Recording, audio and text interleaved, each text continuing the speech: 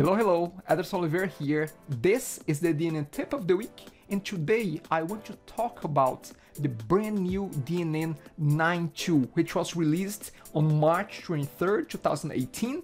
And I want to highlight the new features, the improvements, the fixes, the four key points that I think, in my opinion, are the highlights for this release. So I hope that you enjoy this review. But before I talk to you about the DNN tip of the week, I would like to talk about a new support plan that we have just launched on Deskpal.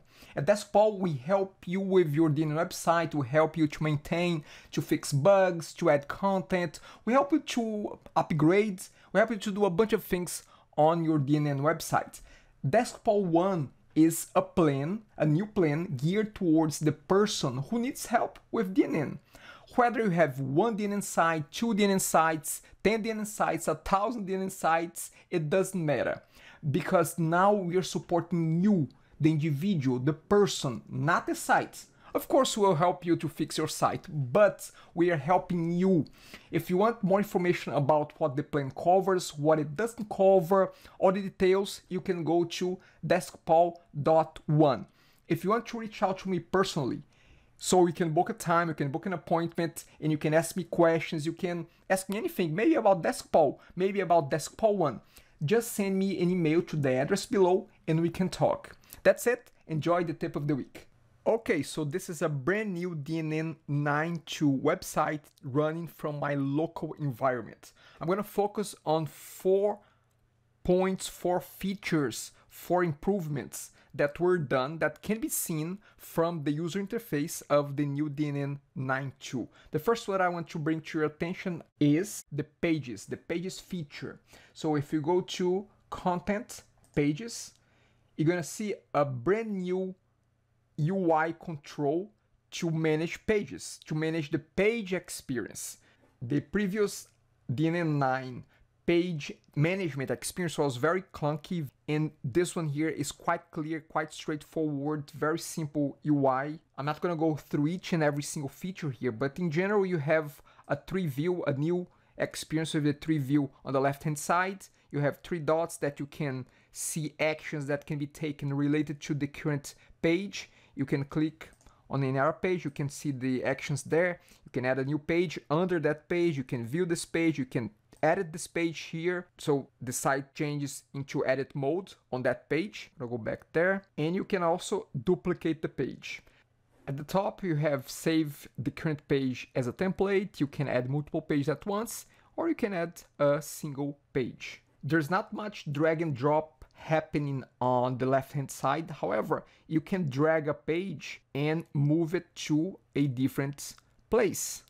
Now, this is it about the pages new user interface. The second one, the second feature I want to bring to your attention is prompts. Prompt I've mentioned in a few videos already, but I'm gonna mention on this one. That's the first release of DNN that comes with prompt. Prompt is a command line admin interface to manage DNN.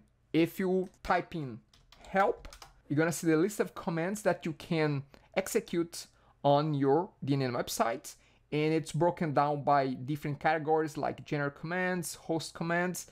It shows what the command does and if you click in that particular command, it will add that command to the command line and if you hit enter, you're gonna get details about that particular command. Now the idea here is not to go deep into prompt, I will save that for a future tip. So that's the second one. Second one is prompt, the new command line administrative tool of DNN 9.2. The third one is about connectors. And you can see that new menu under settings, connectors. This is a way that you can connect to external services. The one that comes by default is Azure, so you can connect to Azure from here.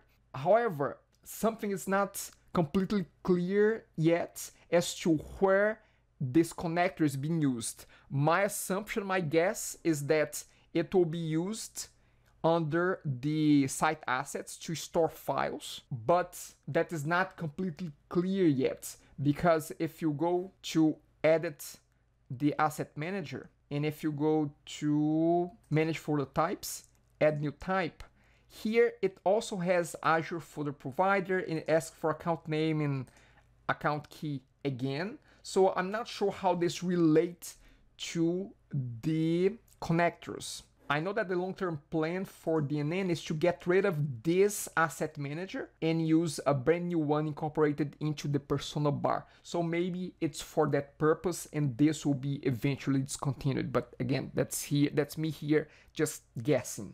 The fourth item I want to bring to your attention is about user search. There's not much to be seen here from from the UI. There's no change, there are no changes there. But if you go to manage users, this search, the user search is behaving way, way better than it was behaving before. Now you are able to search by, by first name, last name, email address, display name. It's searching through all main fields. And this was a bit buggy before on the earlier versions of DNN9. We have plenty of clients complaining about the limitations with the user search on DNN9 earlier versions. And I think that this will really work quite well now. Quick tip here is that if you want to do partial search, let's say I have my name there as one of the users, I was testing that. If I put SON, it won't come up with anything. But if I add a percentage sign at the beginning of my search criteria, it will bring partial results as well. To me, this is a big, big improvement. It's a fix. Now, if you want to get all the nitty gritty details about what has been released on DNN9.2, you can go to the release page, scroll down, and you're gonna see a bunch of release notes with the brand new features, the improvements, the frameworks, the, the libraries that were discontinued, everything is here. And there's also a blog post put together by Ash Prasad from DNN Corp that goes into details as well. But this is it, the four key improvements, new features of DNN 9.2 from a user standpoint. Cheers and bye. If you like this DNN tip of the week and don't want to miss out anyone, subscribe.